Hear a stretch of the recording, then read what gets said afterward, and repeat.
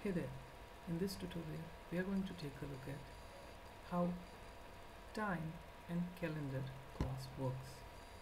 As you can see I have imported time class and then used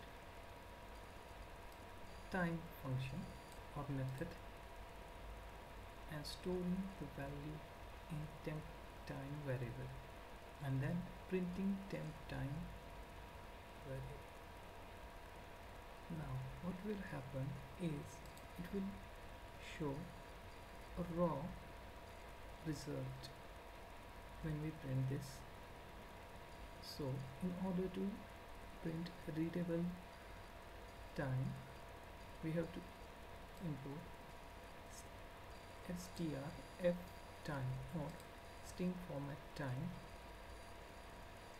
from time class this function basically lets us format time and date.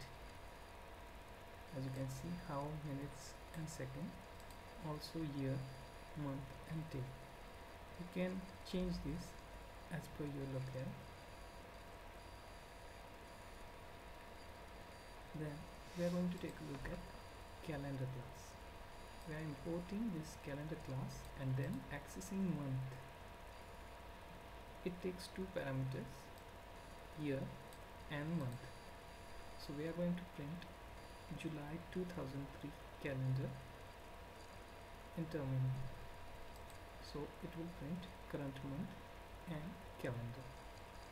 So let's print this and see what the output is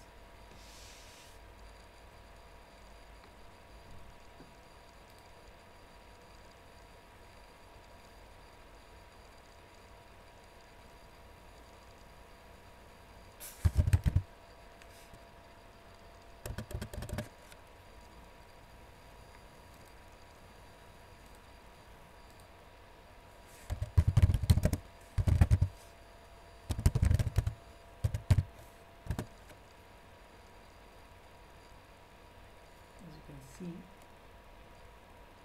temp underscore time variable is printing a raw value time.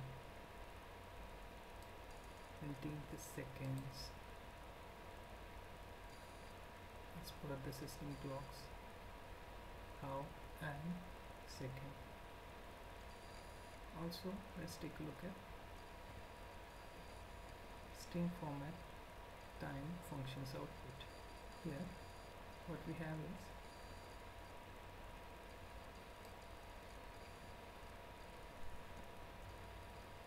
current month July 2003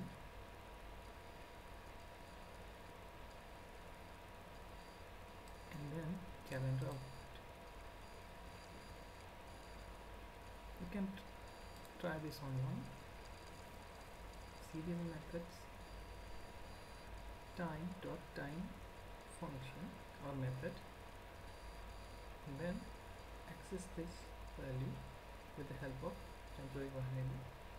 Also you can import string format time strf time function from time class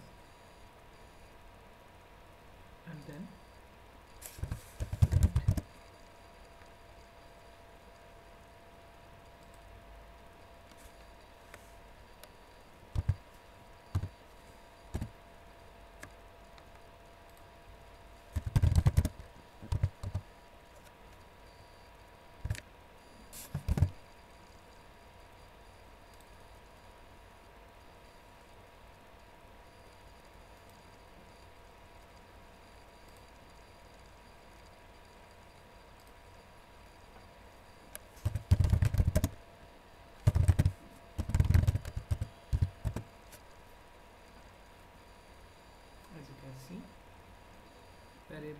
P1 is going to output year, month and